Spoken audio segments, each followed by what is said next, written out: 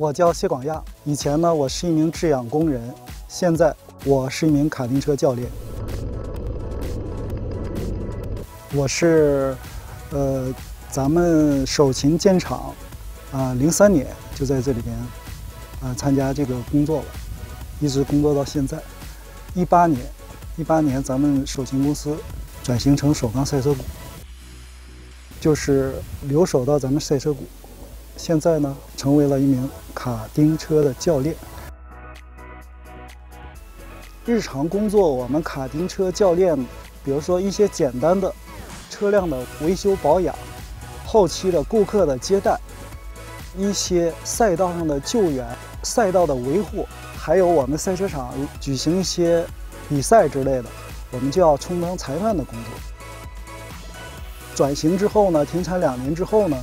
我们这个生态环境呢，可以说是空气比以前要好了很多。呃，野鸡啊、野兔啊这种野生动物，都可以在我们厂区内经常能够见到。旁边对河的水源的污染，也是有一个很大的提升。